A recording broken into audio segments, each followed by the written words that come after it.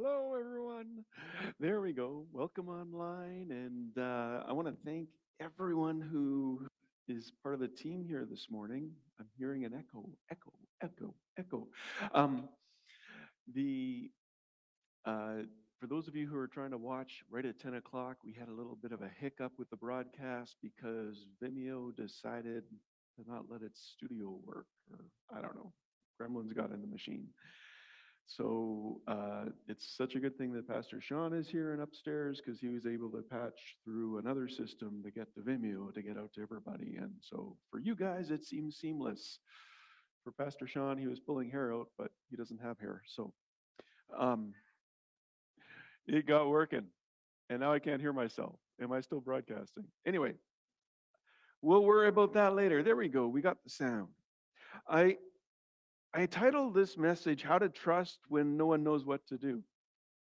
And honestly, um, I didn't think that no one thought they didn't know what to do. I, I realize everyone has an opinion. I realize everyone will say, This is what we should be doing, this is what we shouldn't be doing. That's not what I'm talking about today. I'm talking about the fact that we are having mixed messages sent to us since day one. And the latest just makes is a it's a head scratcher, right? So a couple of weeks ago, Alberta had to lock down to stop the spike, right? What happened? We had a bigger spike and then things dropped. This week, Texas and Florida opened things up. And guess what happened? Numbers went down. Now, what do you do with that? You can't just look at the headlines you got to read the deeper story. And in texas and in florida they one they had more people get the virus earlier on. We were already locked down up here so we kept each other safe meaning we've just prolonged the inevitable agony that we have to go through. But the second thing was they've had they've had like i think one had 48 and one had 46% of everyone vaccinated. So they say that the virus has no place to go basically with everyone who has been sick. And with the virus, they can open up and numbers are dropping because that's what we can look forward to here. But it's tough.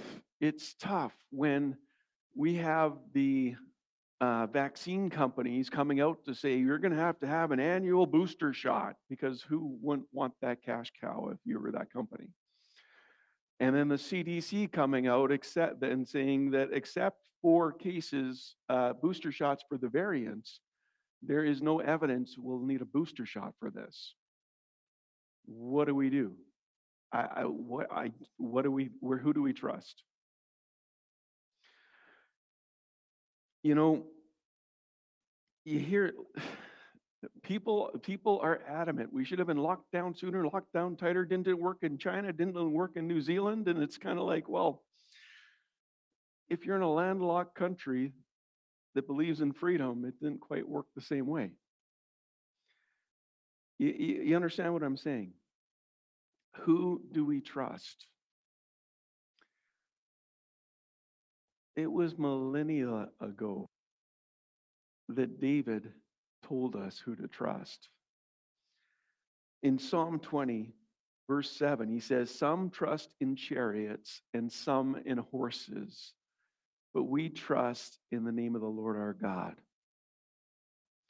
Chariots are needed and necessary in battle. They give you the advantage of speed and intimidation. They are incredibly important at that time of year. That, that's that the, the Bronze Age and above.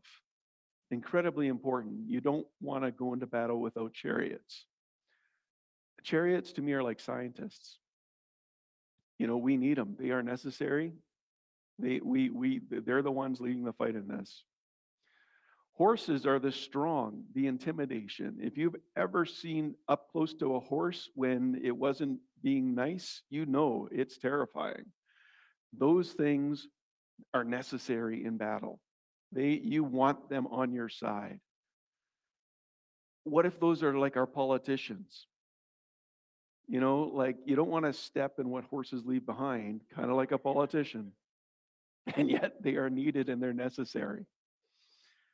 So we could say that some trust in scientists and some in politicians, but we trust in the name of the Lord our God. The problem is that most, some of us are trusting in chariots and horses, even though we say we're trusting in God. Does it really matter?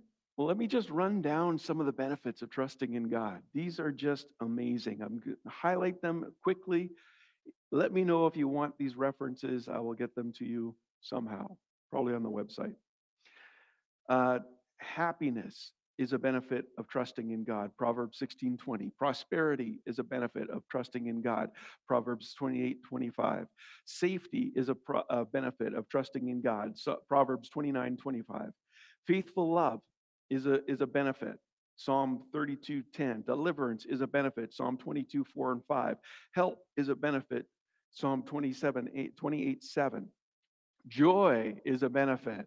Psalm 5:11. Refuge is a benefit. Psalm 26, 8. Salvation is a benefit. Isaiah 12:2. Peace is a benefit. Isaiah 26, 3 and 4. Not having fear is a benefit. Psalm 127, 112, 7. We need to trust in the name of the Lord our God.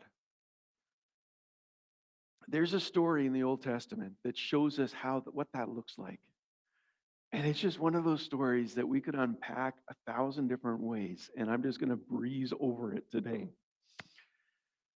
The story is when King Jehoshaphat is uh, confronted with three armies. This is Second Chronicles 20. And um, there's three armies that are coming against him. And he, Jehoshaphat, hears the news and he right away he calls a fast to seek the Lord. And during that fast, he prays a prayer that you and I need to pray at least part of that prayer probably every single day. I'm going to read that prayer and then we're going to get to the rest of the story. Second Chronicles 20, verses 6 to 12. The Lord, the Lord, the Lord, the God of our ancestors, are you not the God who is in heaven?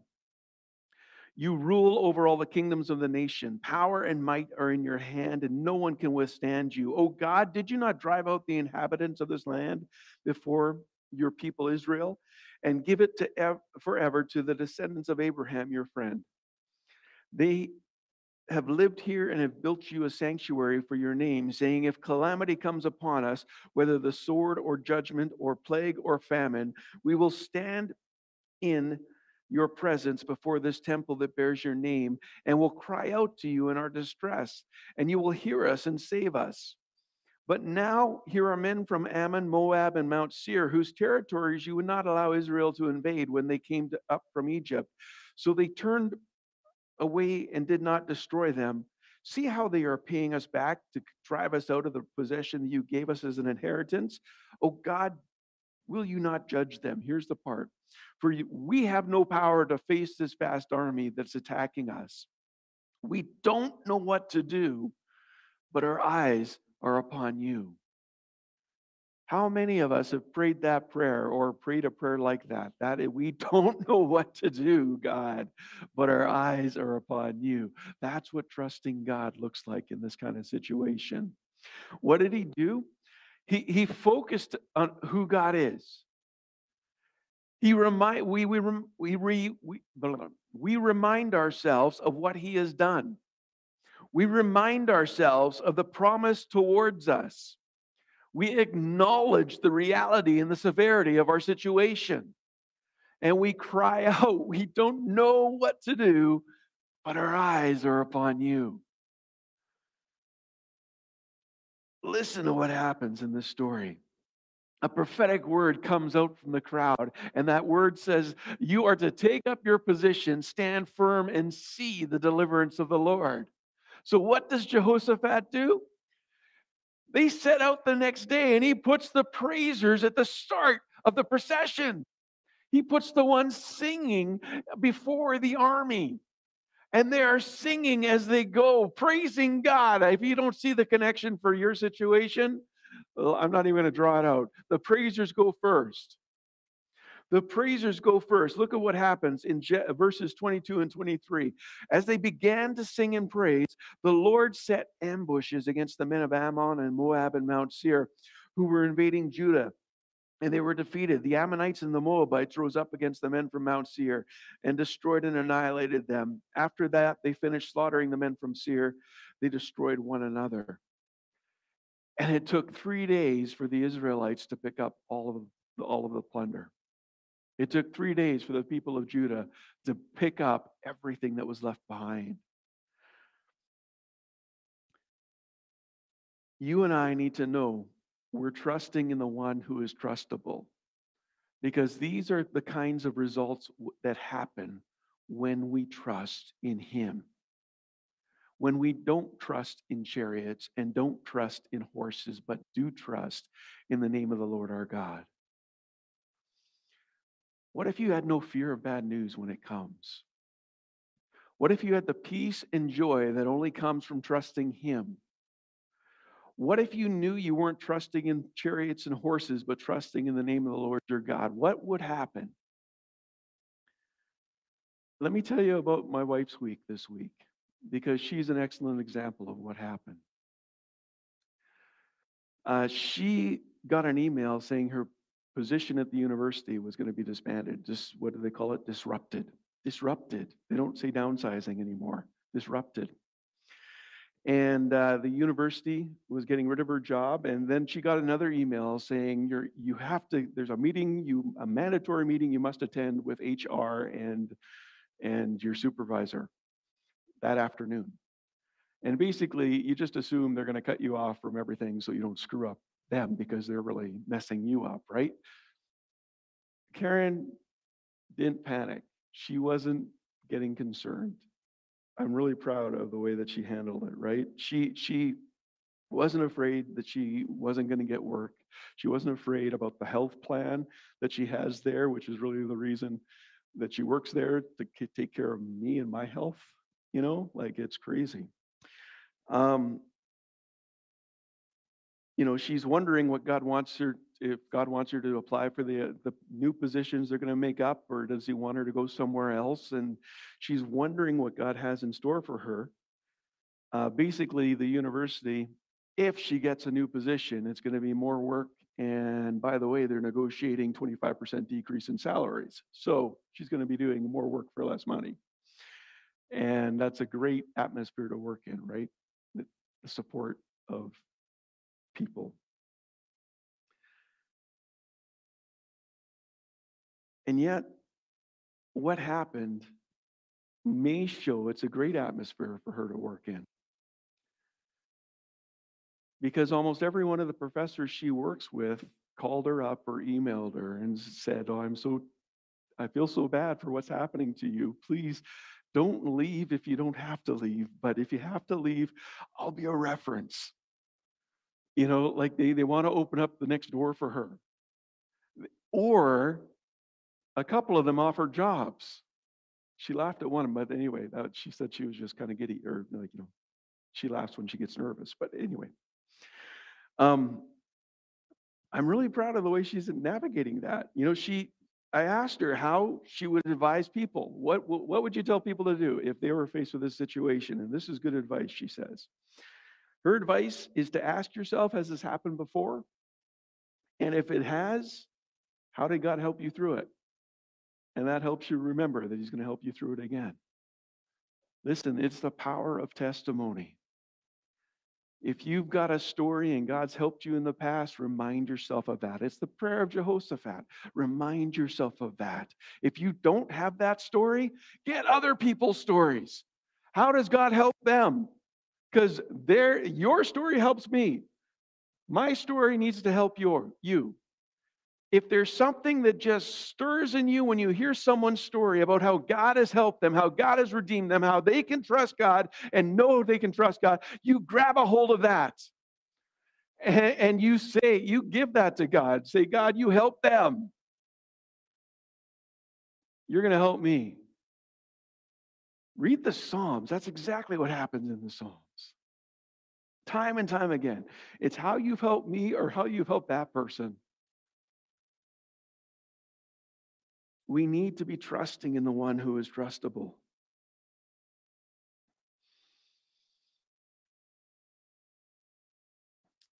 Imagine what it would be like. You- You're going to have those moments, but just imagine what it would be like to have that this time, to have peace at all times and in every situation. There will be moments, but you can go back to your center. You can go back to that peace that's yours, that joy that is yours.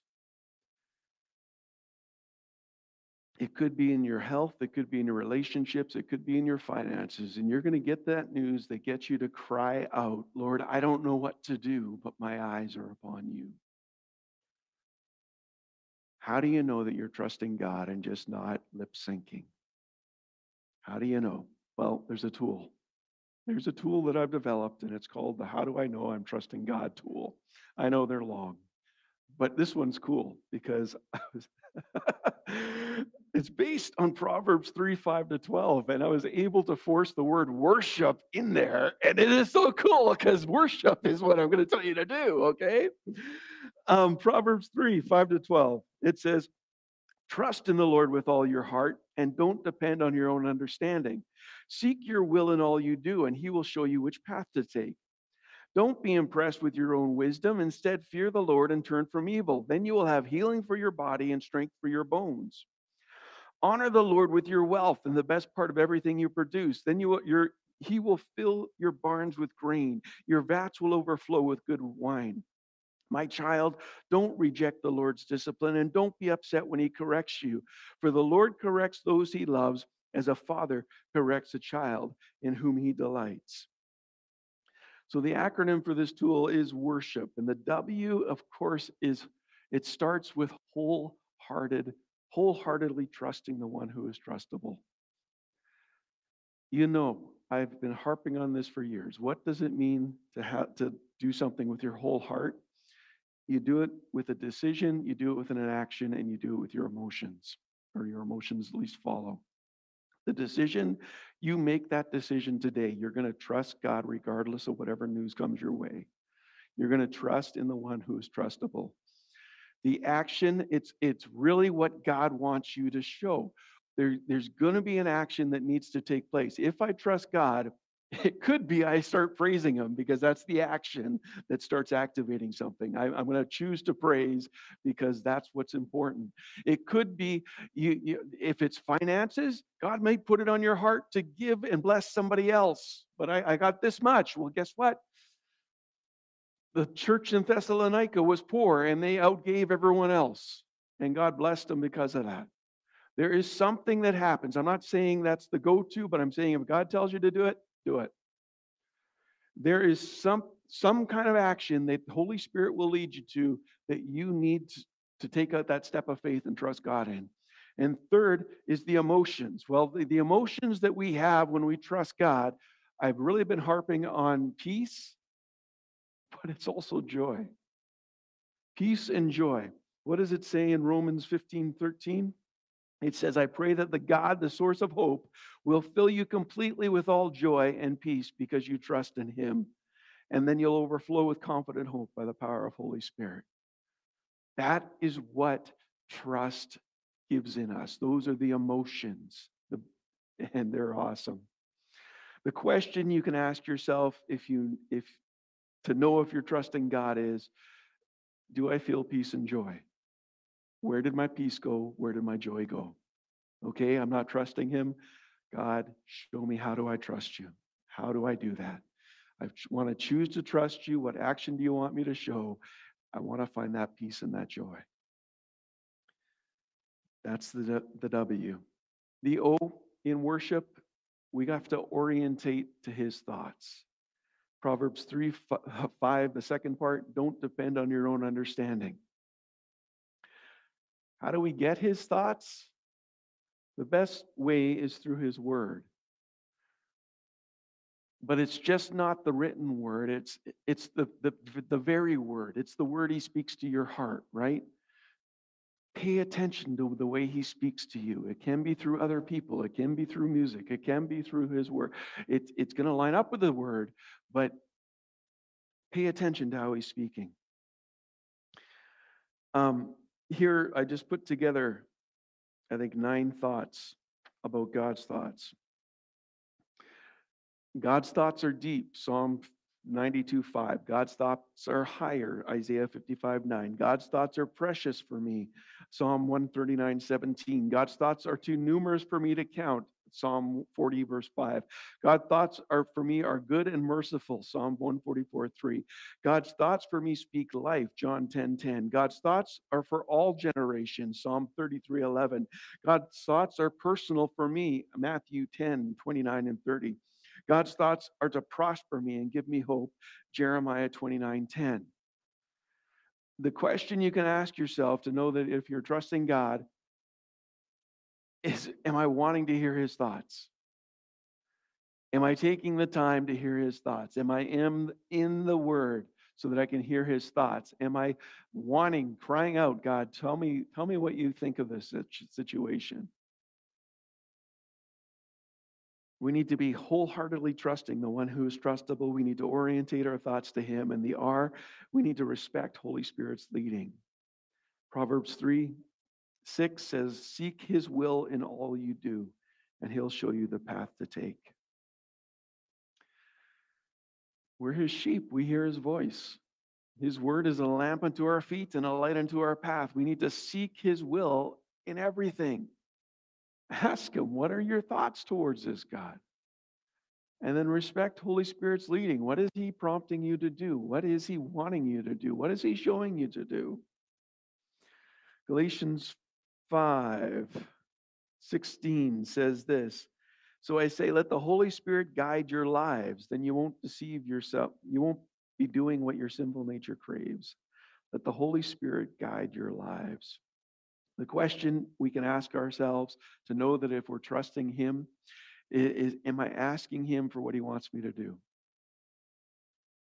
When I go to prayer, is it the list of my wants and my desires, or is it t- spending time with Him to say, God, what do you want me to do? One question, I didn't even write this down. One question that has helped me is, Lord, who do you want me to serve today? And sometimes it makes it's easy to do, and sometimes it's really uncomfortable to do. But when Holy Spirit gives you the answer to that question, who do you want me to serve today? Obey, do it, do it, and do it in love. The S in worship, I want you to steer clear of wisdom that's not from above. We got this, right? Don't be impressed with your own wisdom. Instead, fear the Lord and turn away from evil. Then you'll have healing for your body and strength for your bones. Knowledge in our society is too often rewarded, while wisdom is uh, less often revered. First Corinthians tells us that knowledge puffs up, but love builds up. Knowledge makes us feel important, but you need to, what we need is wisdom that's from above. Remember what that wisdom looks like. James 3:17. Memorize it, get it in. Wisdom that's from above is, first of all, pure, it's peace loving, it's gentle at all times, and is willing to yield to others. It's full of mercy and the fruit of good deeds. It shows no favoritism and is always sincere. Look for that wisdom. Live out that wisdom. Show that wisdom to others when they when they're asking for it. The H in worship is to honor God with honor God with your, your life. Proverbs 3, 9 to 10 says, Honor the Lord your, with your wealth and the best part of everything that you produce. Then he'll fill your barns with grains and your vats will overflow with good wine. Jesus told us not to worry, but to seek him in everything. In Matthew 6, he tells us, and if God cares so wonderfully for the water wildflowers that they're here today and thrown into the fire tomorrow, He'll certainly care for you. Why do you have so little faith? So don't worry about these things saying, What will we eat? or What will we drink? or What will we wear? These things are dominate the thoughts of unbelievers. But your heavenly Father already knows all your needs. Seek the kingdom of God above all else and live righteously and He'll give you everything you need. The question you can ask yourself to know if you're trusting God is Does my life show I honor God? Does the way I'm living show others I honor God? Listen, it's not about keeping a list of rules of things you don't do. It is about showing that you have peace at all times and in every situation. It is about seeing that you are there to serve and you are there to love. It is about showing God to the rest of the world. You're the only Jesus some people will ever see. Live well, live well. The I. Let's recap here. The W is wholeheartedly trust the one who is trustable. O is orientate to his thoughts. R is respect Holy Spirit's leading. S is steer clear from wisdom that's not from above. H is honor God with your life. And I is it to insist on treating hardship as discipline. What do I mean by that? Proverbs 3:11 says, "My child, don't reject the Lord's discipline. Don't be upset when he corrects you." I've made two decisions in my life that have helped me through every difficult thing since I've made those decisions. Decision number 1 is I will never give God credit for the works of the one who comes to steal, kill and destroy. I won't give him credit for the work of Satan. And number 2, I've decided to endure hardship as a discipline, eh, hardship as discipline. What does that mean? It means it doesn't matter what I'm going through, God is going to work it out for my good. I'm not going to blame God for what I'm going through, but I'm going to know that He's going to see me through it and He's going to make it right for Him. He's going to make me look more like Jesus through what I'm going through. And guess what? He's going to do it anyway. And it just makes sense to let him do it because otherwise you're fighting against him and that never goes well.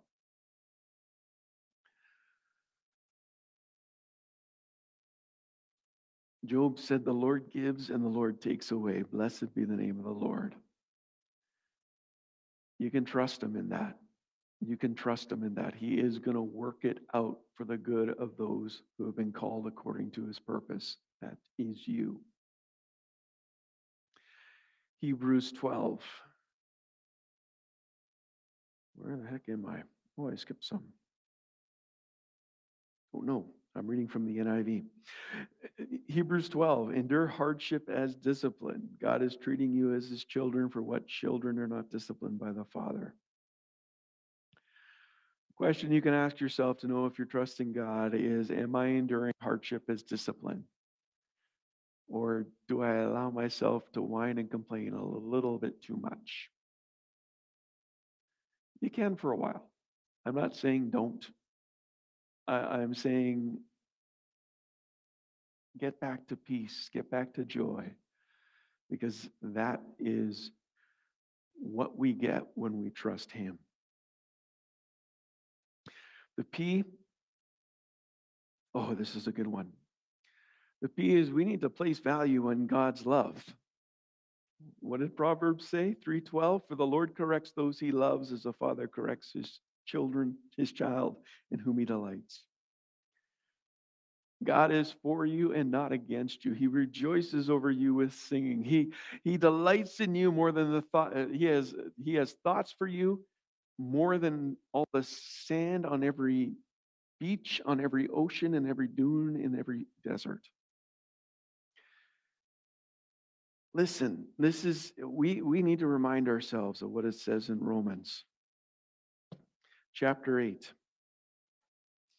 Paul writes, Can anything ever separate us from Christ's love? Does this mean he no longer loves us if we have trouble or calamity or are persecuted or are hungry or are destitute or in danger or threatened with death? As scripture says, for your sake we have we are killed every day, we are slaughtered like sheep. No, despite all of these things, overwhelming victory is ours through Christ Jesus who loved us. And I am convinced that nothing can separate us from God's love. Neither death nor life, neither angels nor demons, neither uh, Neither our fears for today or our worries about tomorrow, not even the powers of hell can separate us from God's love. No power in the sky above or in the earth below. Indeed, nothing in all creation will ever be able to separate us from the love of God that is revealed in Christ Jesus our Lord. Listen.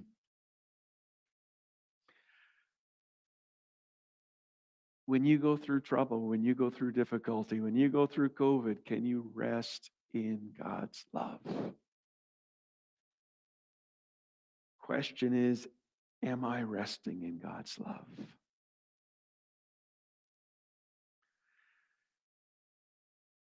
Any of these questions, if you've answered no to honestly, please know God gives us the tools we need to make it right. The tools are confession and repentance. It's simply a matter of just agreeing with God. That's confession. That God, I'm not trusting you. Simplest thing. If I don't have peace or joy, I know I'm not trusting God. So, okay, God, I am not trusting you.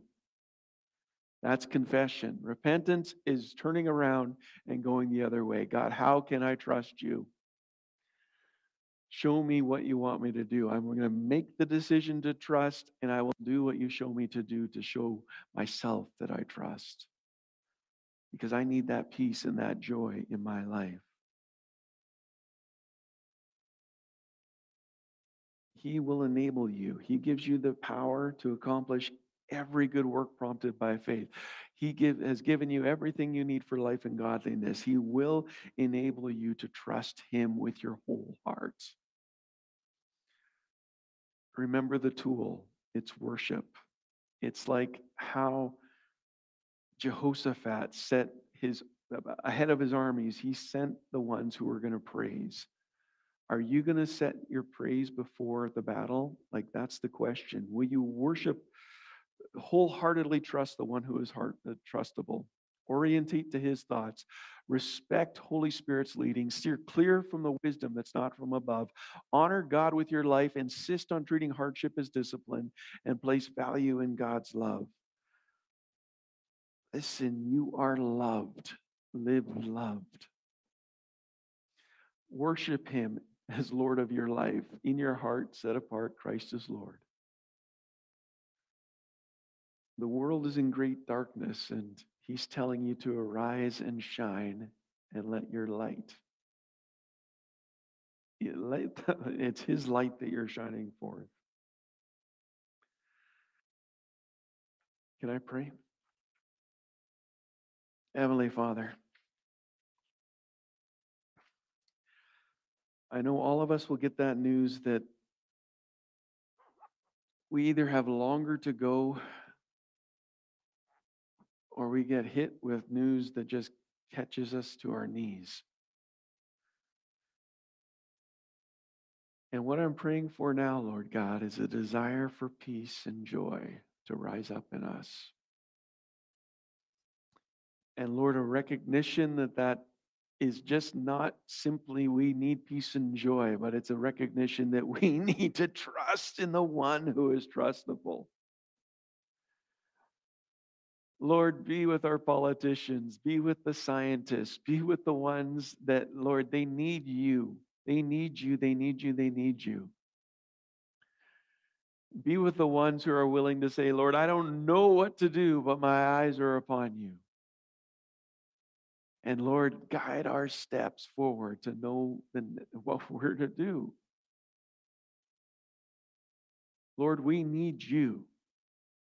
We need you to be the light to our feet and the lamp unto our path. We need you, God, to show us what we're to do. I thank you, God. Thank you. Thank you, thank you that you will. In your holy and precious name. Amen. Amen. Thank you for watching online. We're going to have a quick summary of what's going up and announcements back with Janine.